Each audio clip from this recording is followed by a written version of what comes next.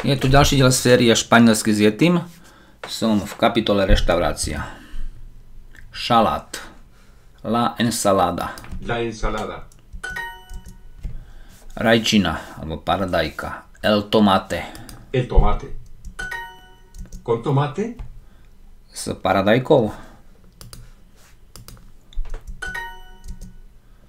Sol.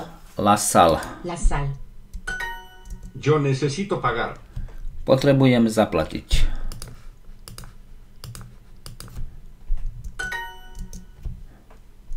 Sin tomate, por favor. Bez paradajky, prosím.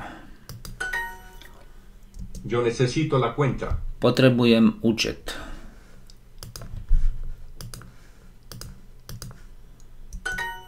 Yo quiero una ensalada. Chcem šalát.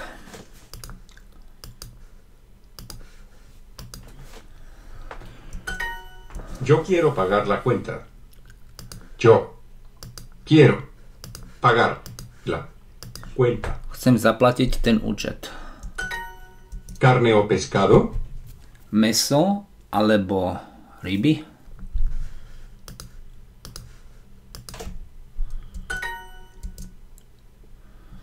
Potrebujem burger.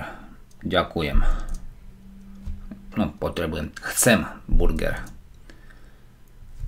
A odpoveď bude s alebo bez syra. Con o sin queso.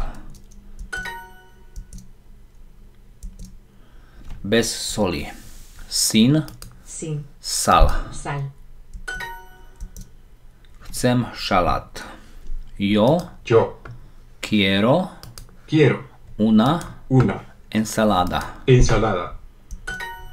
A sme na konci.